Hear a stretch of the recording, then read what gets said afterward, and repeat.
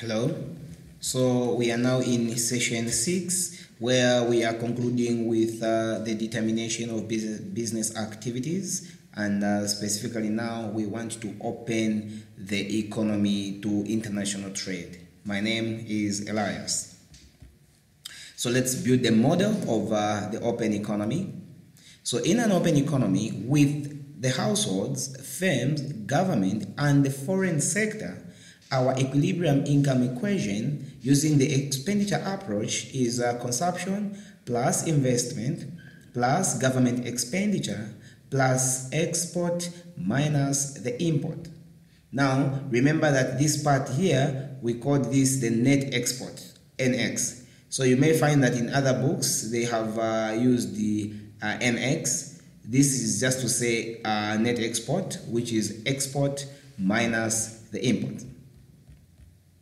Okay, so where consumption is equal to autonomous consumption plus the marginal propensity to consume multiplied by the disposable income. So remember this disposable income is equal to income minus the taxation. So I is autonomous, so I will be I prime. G is also autonomous, that's government expenditure. And then exports, uh, we are assuming export is also autonomous and then the import has two parts. That is the import that does not depend on income which is autonomous and the income uh, the imports that depend on the level of income. So you may find uh, different equations. In other equations you will find maybe there's just autonomous import. In other equations you find maybe there's just uh, the uh, proportion of uh, the income that is uh, channeled to the import multiplied by the income itself which is my so we call this the marginal propensity to import. Okay, so with that, then we define our, our YD. Our YD is equal to income minus the tax. Remember again also here that this tax can either be lump sum or it can be proportional tax or both lump sum and proportional tax.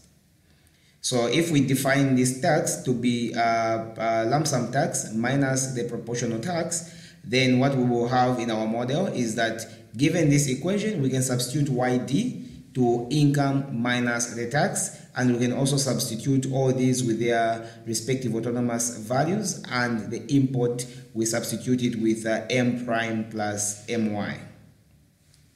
Given this, we can uh, uh, start by uh, putting substituting what t is here. So we rewrite this equation c prime plus b uh, open bracket income minus. Now the tax here is equal to tax uh, autonomous tax or lump sum tax plus the tax that depends on income. So this is the entirety here and then we rewrite these the way they are and then we have import uh, plus uh, import that depends on income. So autonomous import plus import that depends on income. With that if we distribute through the uh, here the b, we will we will have uh, by minus bt prime. So this b multiplied by y will be by. b multiplied by negative t prime will be negative bt prime, and then this b multiplied by because this will be negative negative ty, it will be negative bty plus i prime plus g plus uh, uh, g prime plus uh, plus x prime minus m prime minus my. So this, when we distribute the negative, all these will become negative. Then if we collect like terms, so by will cross the equal sign and become negative, minus bty will cross the equal sign and become positive, minus my will cross the equal sign and become positive. And then the rest will be written the way they are. So c prime is here, we see minus bt prime is here. We see plus i prime is here. g prime is here. x prime is here. And m prime is here. So this whole part, remember, is the autonomous expenditure part.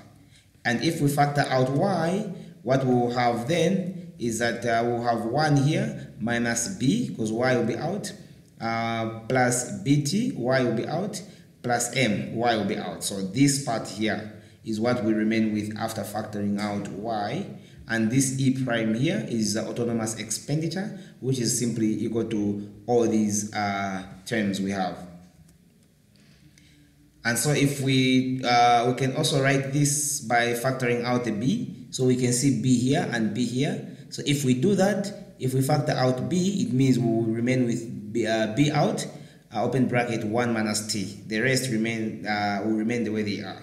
So you can either pick this or this, you still get the same solution.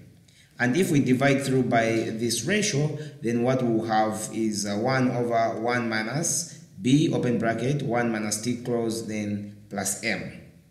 And this part here, remember, is now our multiplier. So we can put k there. So meaning equilibrium income is equal to the multiplier multiplied by the autonomous expenditure. And remember now the multiplier here shows the uh, part of uh, imports, the marginal propensity to import, the tax rate, the marginal propensity to consume. So when you see this M here, you know you are dealing with an open economy.